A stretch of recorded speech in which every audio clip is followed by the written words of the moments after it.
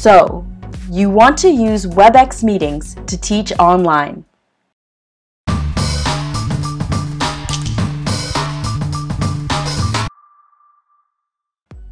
Get ready for a really in-depth course. Uh, we needed this like last week, so can you make it under 12 minutes? What?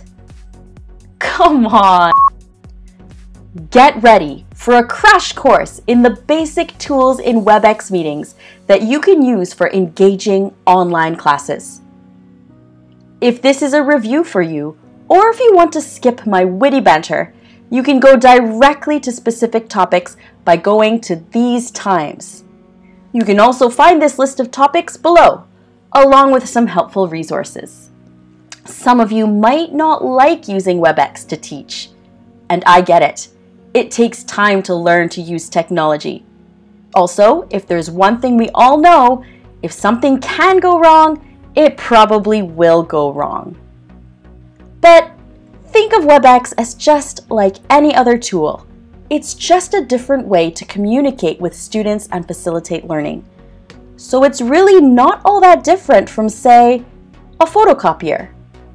Well, sort of. So as you explore new ways to teach, just remember, be patient with your students and be patient with yourself. Okay, let's start by looking at the basic controls. These are found on your screen at the bottom. If you don't see them right away, just click on your screen and they'll appear. When you click on this microphone, you will mute and unmute yourself.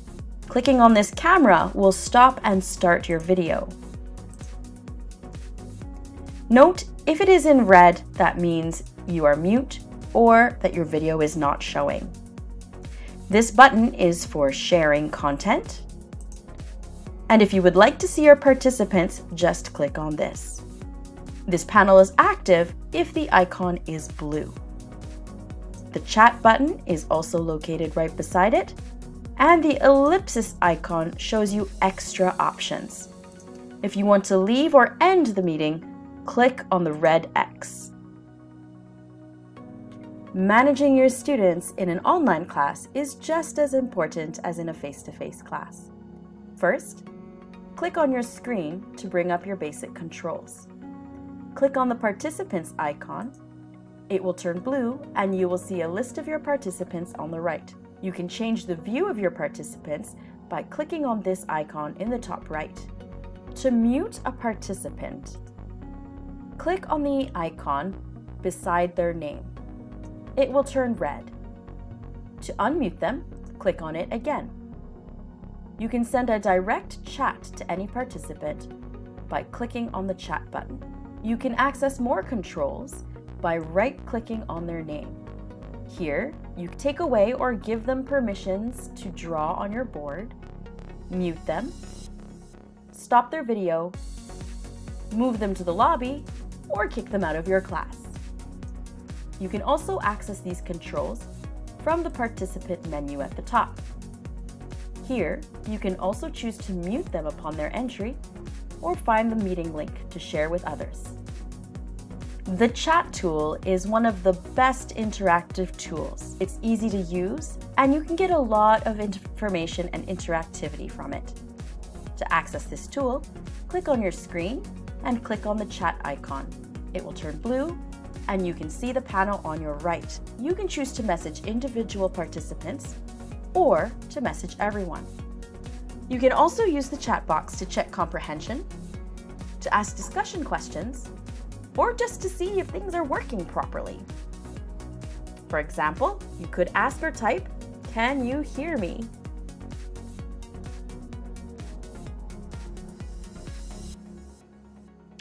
The whiteboard is an excellent tool for interactive activities. To set one up, click on your screen to bring up your basic controls. Click on the share icon, scroll to the bottom, and click share on new whiteboard. This will bring up a blank whiteboard. You can also access this from the share menu at the top. The whiteboard, move your mouse to the left of your screen. You will see icons for different kinds of tools, and it's worth it to experiment. Both you and your students can access these tools. You can write, you can draw, but you should be very careful when you erase. The eraser tool can be used by anyone who has annotation privileges, and people can erase what other people have created. Whiteboards can be used for many different kinds of interactive activities. You can use it as a polling activity where students circle items that they like more than others. You can use it for pronunciation, where you ask students to circle the word that they hear or the stressed syllable. You can also use it for brainstorming or group writing. When you're done with your whiteboard, you can click on this arrow to go to another activity or to delete it. You can also change the name.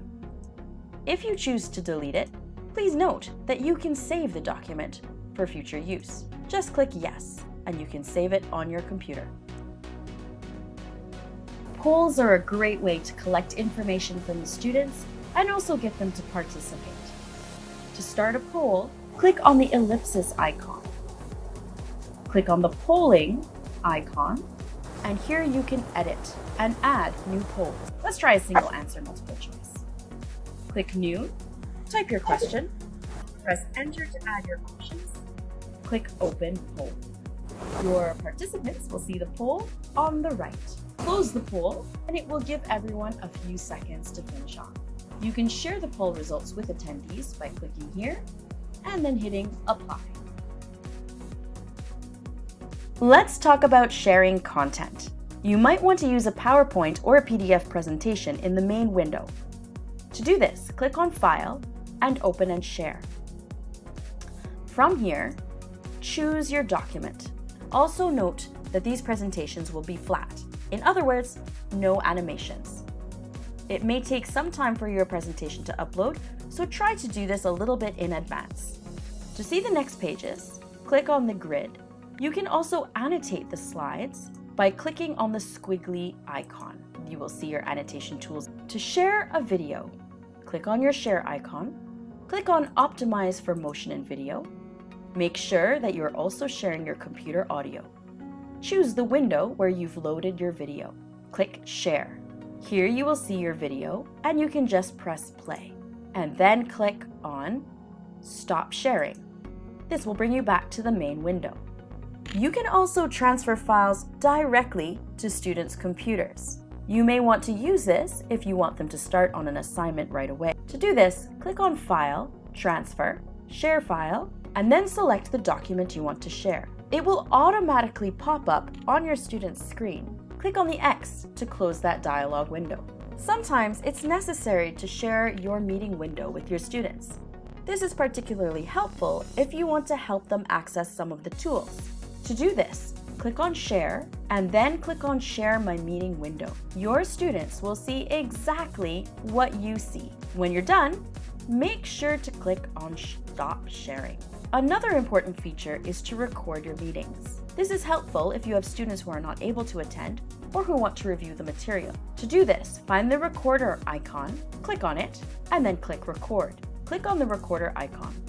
From here you can pause it, resume it, or stop it altogether.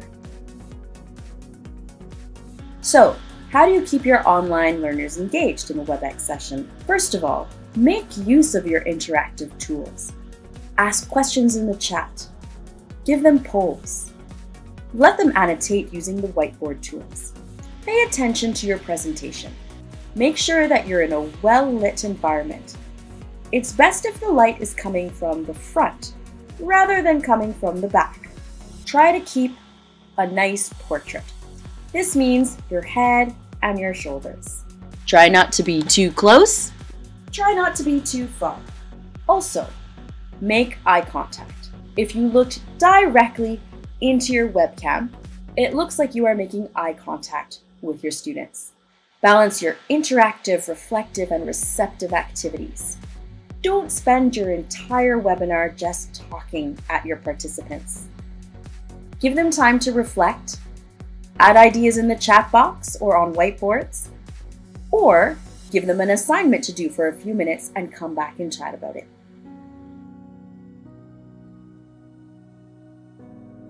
Sometimes you'll need to troubleshoot while in your webinar. Here are a few things you might expect to see. Number one, connection issues. This is a variable that sometimes we just can't control. If the internet is slow, the internet is slow. But there are a few tricks you can employ to try to make things a bit faster and smoother. First, get rid of all the bells and whistles. Turn off your videos. Mute all the microphones except for yours. Make sure that your PowerPoint presentations have small pictures or no pictures at all. You might have to forego showing a video. Top trouble number two, the audio or the video isn't working. You can try to help students look at their settings. Maybe they've selected the wrong mic. If all else fails, have them use the chat box as their mode of communication. If that doesn't work, restart your computer.